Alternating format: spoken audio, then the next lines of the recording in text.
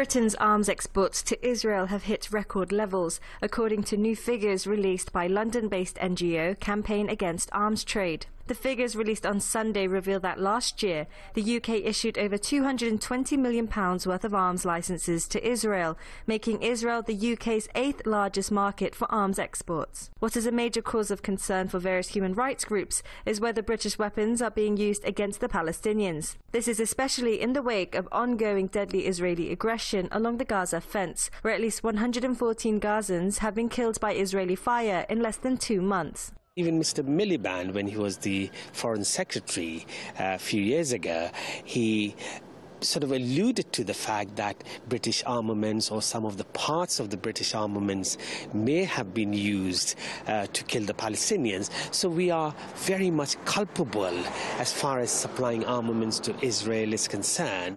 Although British Premier Theresa May backed calls for an independent inquiry into Israel's crimes against the Palestinians along the border, some analysts say that Britain cannot sincerely be sympathetic to their suffering when London has been instrumental to Israel's creation. It is abundantly clear that since the Balfour Declaration a hundred years ago, we as Britain really created this uh, occupied enclave which came into existence in 1948 and we have continued to support the Zionist state.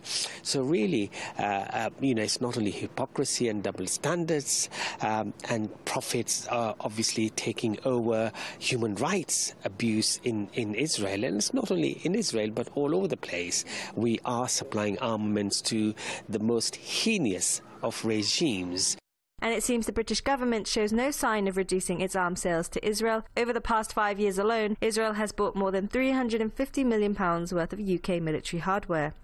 Despite the outrage from human rights groups and despite the British government admitting in the past that UK-made weapons have been used against the Palestinians, the unabated arms sales to Tel Aviv shows, as analysts say, how London continues to value profit over human life.